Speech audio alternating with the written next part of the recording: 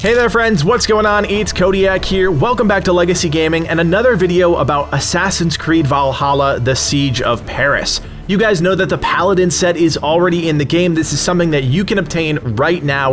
And if you haven't checked out our short video on that set, I definitely recommend you check it out. But there is actually a second set of gear introduced into the DLC called the Reaper's set. And if you're somebody that likes to hide in the shadows, likes to play the game like a true assassin, this set is for you. Now the kicker is, this set of gear is hidden behind the new Rebel missions introduced in this DLC, and I'm gonna be honest with you guys, I am not a fan of this system. It's kind of a amalgamation of everything that we've come to experience with these kind of side features from the base game to Wrath of the Druids with the trading post, and now we have this Rebel system. The Rebel system is pretty straightforward. You accept one quest at a time, you go do the quest, you get some help from some rebels that are fighting against the nobles of Francia, and every time you complete a quest, you get a little bit more infamy. Once you reach the max level of infamy, you unlock all of the items at the Rebel training shop, and you can pick up the Reaper set. The thing is, this is a very uninspired system. It's not enjoyable to go around Francia and kill a group of enemies or assassinate a target. It's a lot of copy paste, and ultimately, it's just not that fun. So, I wanted to share just a quick tip to make this content just a little bit more bearable. Now, if you're somebody that doesn't like cheats or exploits, that's fine, I totally get it. This isn't necessarily a cheat, but it is definitely a way to quickly get yourself through this entire Rebel system so that you can pick up the Reaper set of gear. And like I said in the Paladins video, you want to do this stuff sooner rather than later so that you can get a set of gear that you enjoy for the main story, which is really enjoyable in the Siege of Paris. I really liked it. But the reality is there's just a ton of grinding that you need to do to get the Reaper set, and it's just not that fun. So here's the trick. Using the new scaling difficulty system that Ubisoft introduced right before the Siege of Paris came out, you can basically turn that off and just blow through all of these missions very quickly. Again, this may not be for everybody,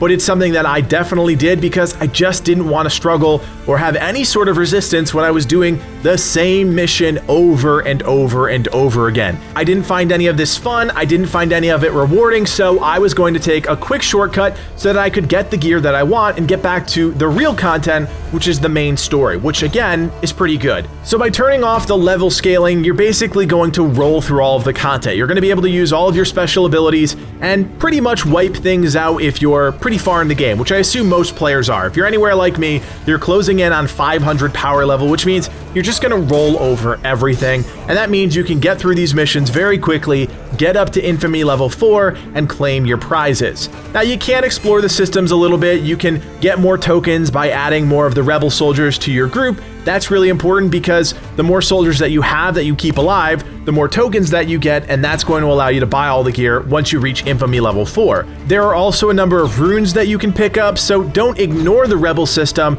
Use the upgrade tokens to get more soldiers into your group, which will ultimately net you more tokens when you complete missions, and you're going to have a healthy chunk of that currency that you can use to buy the Reaper set, to buy the runes once you reach the maximum Infamy level 4. Again, guys, this is not necessarily a hack or a cheat. It's just a quicker way to get through this system because if you're anything like me, you just didn't enjoy it. In terms of the Reaper set itself, it's an okay set of gear. I wouldn't rank it very high if you've checked out any of our ranking videos here on the channel. It's not something that I would rank particularly high. The two-piece allows you to restore some health after a successful assassination, giving you plus 15% health, and the 5-piece bonus slows down time for just a little bit longer, 2 seconds when you're spotted by an enemy. I don't see either of these bonuses playing a big part in most players' gameplay. Getting some health back on an assassination is fine if you're getting attacked a lot, and that extra slowdown is okay, but ultimately I'm looking for something that's going to enhance my gameplay, give me either more options or more deadliness as a player,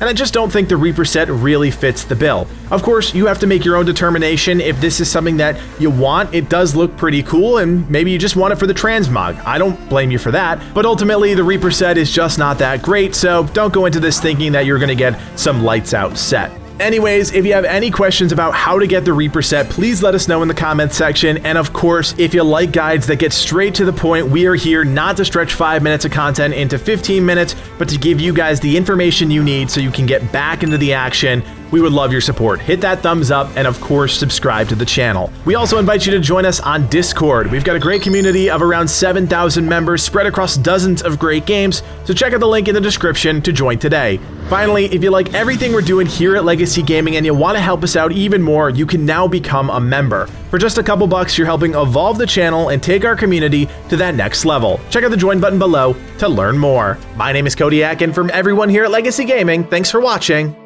and play on.